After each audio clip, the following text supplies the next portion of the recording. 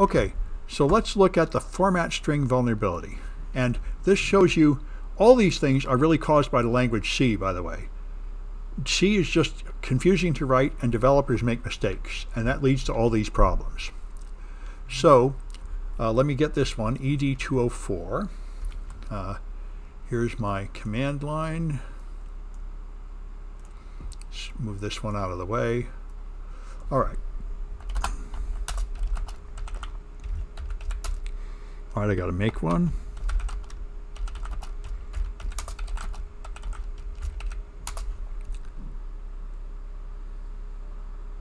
What? Oh, oh, I, I made it with spaces. Okay. There. Okay. Now I'm going to get the source code and the executable. Okay. And there they are, so I can chmod the executable. And, uh, oh, I need a plus x. Yes, I do. Okay, plus x. Okay, now I can run it. Okay, and so I can run it with a string, like hello, and then it just echoes back the string. So let's look at the source code. All right, and I'll get rid of the colors. All right, so here we have it. All it's going to do is take a um, string and it's going to put it in a buffer that's 1024 and then it's just going to print it and that's it. Now there is a buffer overflow if you put it a string longer than a thousand, but we're not going to exploit that vulnerability. We're going to exploit a different vulnerability, which is this. When you print something, you're supposed to do print and then have a format string, like print quote percent %x quote, then the buffer. But C, for some ungodly reason, lets you print without the format string. You can just print something without specifying the format string. And if you do that, it will just make up some default format to use. So it printed the buffer and it was hello, which is fine. But what if I do this? If I give it a format string here, like a percent %x, then it prints something in hexadecimal. It interpreted that as the format string. And so now, if I look at my source code again, this is a little confusing unless you look at it from, from the assembly language level. This is real easy if you look at the assembly language. When I call print, what it does is it enters the C library print function and it, it what C does, when you call it, it takes the argument list here and puts it on the stack. Then it calls print. Print just prints whatever it finds on the stack. It assumes that the calling program has put the required arguments on the stack. First there's a format string, then there's something to print. If it didn't, it just prints whatever happens to be sitting there. So this creates an information disclosure vulnerability. You are now seeing data that the developer did not intend for you to see. So if you just put a series of percent %x's here, you'll be printing hexadecimal words off the stack. And you can space it with printable characters like dots so you can see it. And so now you're just getting words of information off the stack that you weren't supposed to see. So this is information disclosure, but it's worse than that. To turn this into remote code execution, we used %n. And now we get a segmentation fault. Now the percent %n format in C is madness. I have no idea why it exists. But what the percent %n does, see the percent %x showed me what was there, this value. What the percent %n does is it writes to that location in memory. And the, so now here's another fun fact. This is um, 2F2E7825. Uh, that is, I think, this percent %x. So some of this data on the stack is the data that I put there. So let me go to my instructions and I'll just shove them to the side again. All right, so, all right, now I'm going to find how to control the parameter. And so let me get to my, uh, here we are, there, I had it, there. Make this bigger. All right, so now if I try this, I can run it, and instead of just giving it percent %x, I'm going to put some letters here, like AAAA. Okay, and then I'll try 4% X's. Uh, oh, I got I have only one string. I got to put a dot in here. Okay, there we are.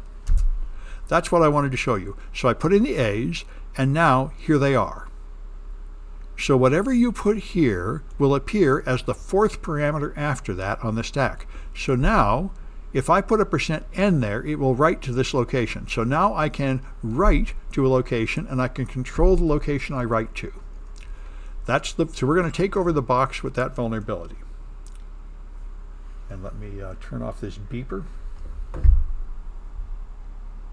All right.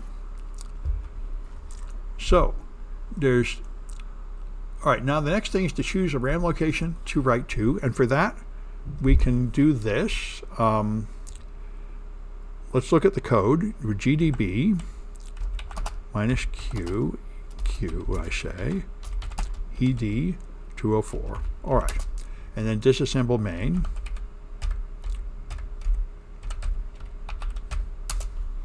All right, so you can notice what functions are called. Here it calls printf, and here it calls exit. And that's pretty much the end. Then there's print car. So now what you can do, what we're going to do is hijack one of these C library calls. We're going to redirect it to go to something else. And that's going to make it unusable. So we have to make sure that we go to the call to printf, put car exit. So what we could do is we could hijack the exit call. And that's what we're going to do. And you can see these calls if you use object dump. So object dump minus R will give you relocation records for the program.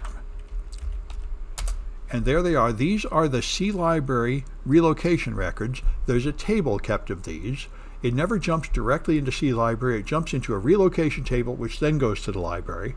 Um, and we can modify it in the relocation table. So we can hijack the exit command by writing to this location, 0804A014. And it might be different on your system, but the principle will still be the same. If we write to that location, it will hijack this exit call and go somewhere else. So uh, we can write to it. And so let me go back into GDP.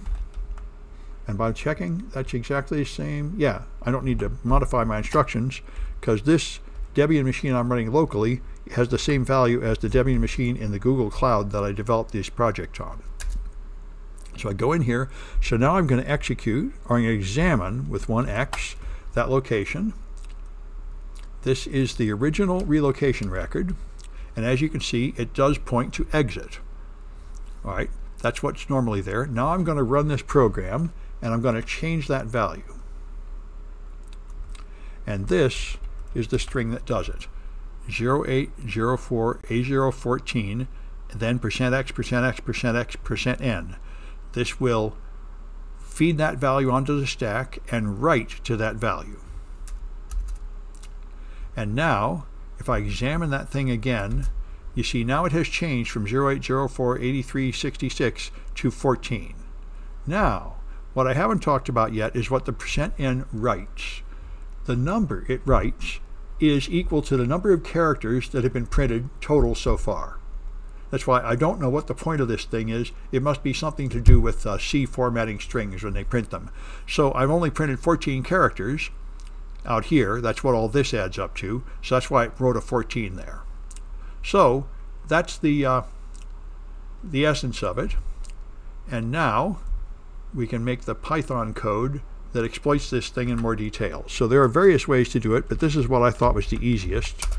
Um, oh, I mean Q to get out of here. Okay, so I nano f1.py. Whoa, whoa, can't spell. All right, so here um, I'm going to write all these things. So each one of them, I add this address, then I have to have four bytes. Uh, I kind of forget why, but you have to have another four bytes to space things out. Then another one. And here's percent %x, percent %x, percent %x, percent %n, percent %x for the junk, percent %n, percent x. I think I might be able to um, delete these intermediate percent %x's, and then I wouldn't need the junk. But anyway, it works this way. So this way I'm going to write four times. I'm going to write in location 14, 15, 16, and 17. And each time it's going to write a 32-bit word So I'm going to write the byte and overwrite the other bytes with the future write. So this will replace all four, um, all four bytes in that address. So make that executable. Plus x f1. Whoa, whoa. Plus x. Still got caps lock a f there. All right. And now I can go back into my debugger. There it is. And I can run. Uh, let's do that examine again. It's in my up arrow list. I'm going to do the examine first. So we see the unmodified relocation record, which is here. Okay, that's the one that really points to exit. Now I run with f1.py. And now I examine that, and here's all that stuff, junk, junk, junk, and all that hexadecimal stuff printed out. And now it's been overwritten to 30, 38, 40, 48, because it's printed eight more characters each time, and it prints a value equal to the running total of all the characters it's printed so far. So now I know how to write all 32 bits into that register. And I just need to calculate the bits to bring it under more control. So that's the next one here, F2.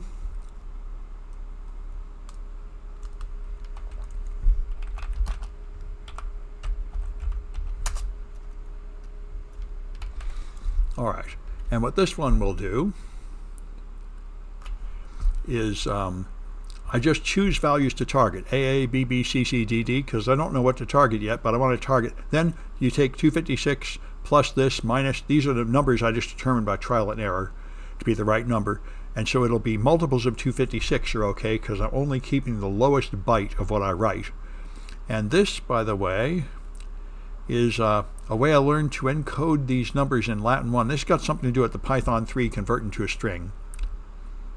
So this is how you convert those, this is how you convert those hexadecimal, these numbers, into raw bytes in Python 3. And then print it out with the same thing we've been doing. It was this standard out buffer write. So that should target this address, AABBCCDD. Let's try that one. Chmod plus X F2. Okay, then G debug it again.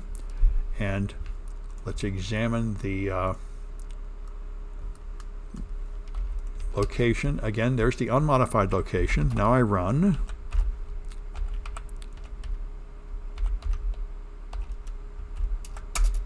Okay, and see it prints out quite a lot more data, 256 random padding characters now and then. Now I examine it, and now it is AABBCCDD.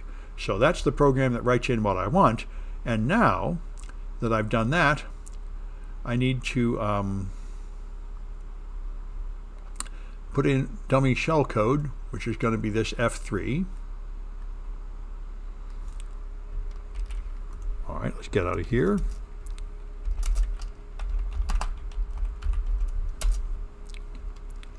All right, so now what I'm going to do, this is all the same, even the AABBCCDD. The only part that's new is down here. I'm going to have this NOP sled and shellcode. So I have 190s and I have um, CC. And actually, I'm thinking I need to have bees here and make these bites. Pretty sure I need to have bites there. Let's see if this works. All right.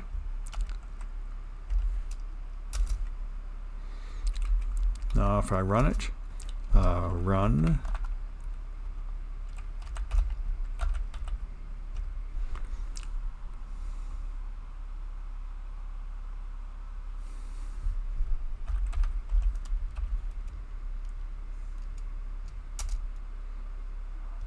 permission denied. Oh, I forgot to make it executable.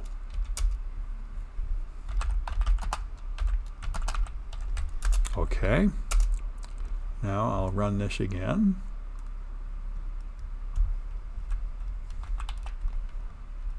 Okay, it prints out all that junk, including non-printable characters. It looks good. Now I should be able to examine that location. And it's still pointing to A, A, B, B, C, C, D, D, but I need to choose a place to put it, and for that, it's going to be somewhere on the stack. So I can just X, 100X, ESP, and here I see the stuff I wrote. Here's the NOP sled, here's the dummy shell code. So to hit somewhere in my NOP sled, I choose an address like this, and uh, that'll do. Copy. And that's what I want to put in my um, exploit. So I'll get out of here, and I'll copy F3 to F, F3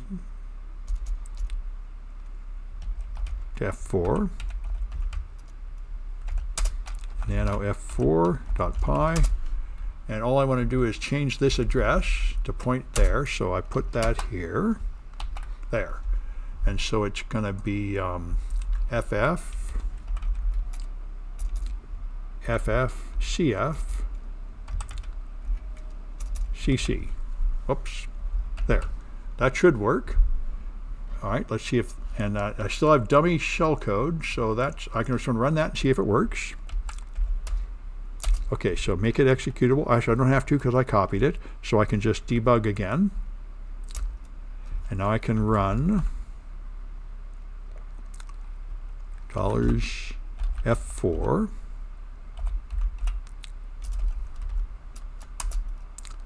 and it made it to the breakpoint. That's what I wanted to see, and I can examine it.